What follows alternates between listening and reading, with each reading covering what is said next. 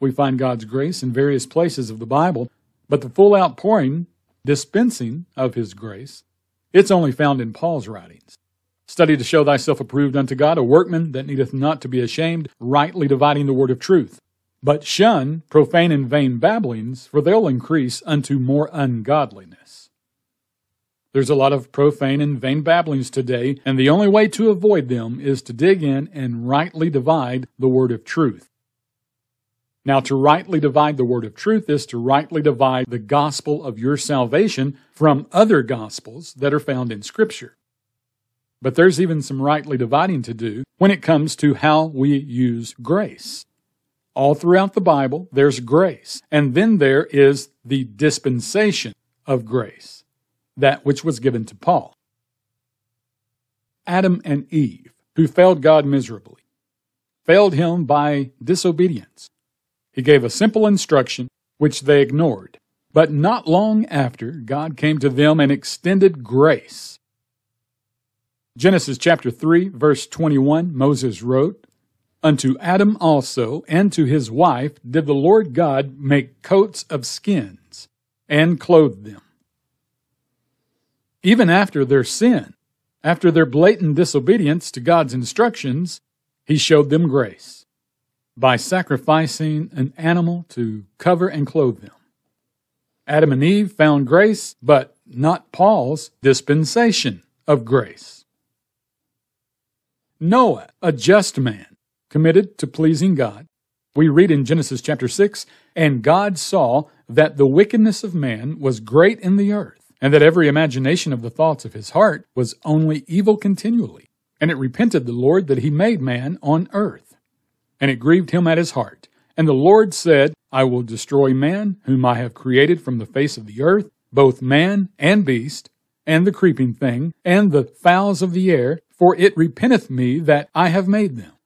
But in the next sentence, Moses writes, But Noah found grace in the eyes of the Lord. Out of all the humans on earth, God chose one, Noah. Here we have another beautiful picture of grace, but not to be confused with Paul's dispensation of grace.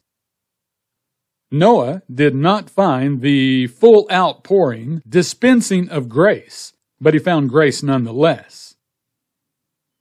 Abraham, who lied about who his wife Sarah was, slept with another woman, and still God promises to Genesis 12:3 to bless them that bless thee and curse him that curseth thee, and in thee shall all families of the earth be blessed. Folks, Abraham found grace. What about Moses, who early on he was a stubborn, arrogant man, a murderer, who was full of doubt, yet God never forsake him. And in due time, he learned to walk in obedience and lead God's people out of bondage. He became a great leader, but only because of the grace he found with God. An important thing to remember is there is grace within a dispensation and there is the dispensation of grace. It's imperative that we distinguish between the two. What about the Israelites? They went after false gods, made and worshiped idols at almost every turn. They suffered immensely for their wrongdoings, and unlike us today, they often found themselves facing God's judgment. Not so for us. At times they faced his judgments, at times he showed them grace. But showing grace and dispensing a continuous outpouring of grace is entirely different. Let's take David. Okay, he was a fornicating murderer, a thief, yet he found favor with God. Unlike us today, David was on the other side of the cross and didn't have the benefit of non imputed sins from what he wrote in the 51st chapter of the book of Psalms. Verse 1 Have mercy upon me, O God, according to thy loving kindness. According unto the multitude of thy tender mercies, blot out my transgressions. Wash me thoroughly from my iniquities, and cleanse me from my sin. David wasn't as fortunate as we are today to have non imputed sins. and neither was he sealed with the Holy Spirit. That's evidenced a few verses later in verse 11. Nonetheless, David, Acts chapter 7, verses 45 and 46, found favor before God. What about Rahab, the harlot, a prostitute? She found grace. Most everyone back then thought of her as being one of the least likely candidates for receiving God's grace. But in Joshua chapter 2, she indeed found grace and decided to faithfully serve the God of Israel. She found grace, but wasn't as fortunate as you and I to be living under it. Noah found grace, Abraham found grace, the Israelites, David, uh, Rahab, they all found grace. And there's other examples of God's grace throughout scriptures. The account of Ruth also comes to mind. But today, the time in which we live is a unique and special time, a time like no other, when God is not showing up in our day to day circumstances. Every now and then, a little sprinkle here, a little sprinkle there, and supernaturally gracing us. We're not experiencing individual grace in dribs and drabs to help us escape or make it through certain situations. No, what we have on this side of Calvary's cross is far greater. We're enjoying a full outpouring of God's grace. Amen? Hence the word dispensation. You know, it's like a soda fountain, so to speak. Place your cup under the spout and your, your drink is dispensed. Well, today we live under the constant dispensing flow of grace, a grace flood. Hence the reason God is not judging us for our sins. No Ananias and Sapphira happening in the dispensation of grace. No, the grace dispensation is a system whereby God is dispensing grace non-stop. Again, there is grace within a dispensation, and then there is the dispensation of grace. These are quite different. The grace we're being shown today is not about God every now and then stepping down from heaven to intervene in our daily circumstances. It's not about Him stepping down. It's the fact that He already stepped down.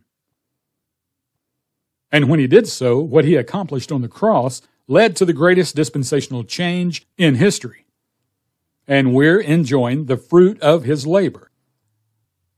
A dispensation deals with how things are administered economically.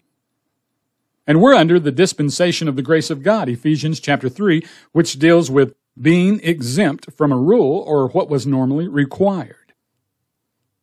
This is why Paul, Romans 6:14 wrote, for sin shall not have dominion over you, for ye are not under the law, but under grace. In your mind, picture a parenthesis. Place one side of the parenthesis in front of Paul's meeting Jesus in Acts chapter 9. And take the other side of your parenthesis and place it on the right side immediately after Paul's letter to Philemon. Inside the parentheses is where we find ourselves today. Most of the world is oblivious to this piece of knowledge and is why we've been commissioned by Paul with our Great Commission, which is to tell the world about it. How that during this time of God's dispensing of grace, He is not imputing anyone's sins. In this but now period, He's dispensing His abundant grace. 2 Corinthians chapter 4 verse 15. Under this administration, grace reigns. Romans 5:21. A different system, a different arrangement, different rules, a different program than what God had prior with Israel as a nation during their rise. They've since fallen. And this is a brand new administration by which we've been cleared from having to perform under Israel's works based law system and given the green light to proceed ahead according to grace. God is currently dispensing non stop grace, and it's why He is not pouring out dispensing His wrath and judgment. These cannot both run simultaneously. His dispensing of grace is currently holding back his day of dispensing judgment. That's far different and certainly unique from finding a little grace here and a little grace there in between his judgments. as what often happened to the Israelites. See, we mustn't get confused. Let's not mix up the mail. Let's keep it separate, and that'll make things easy to understand. We're in a time when God is not judging the sins of mankind at any time because they are not even being imputed. They were imputed to Christ. This is why it is vital that we rightly divide, rightly dispense the word of truth. Now, go tell someone the gospel today how that under the current dispensation of grace, forgiveness is rated E for everyone. But salvation is only found in Jesus. So you must believe on him. He died for all, that they which live should not henceforth live unto themselves, but unto him which died for them and rose again. He died for sins and rose on day three. Salvation isn't getting your sins forgiven, it's believing they already are. Grace and peace.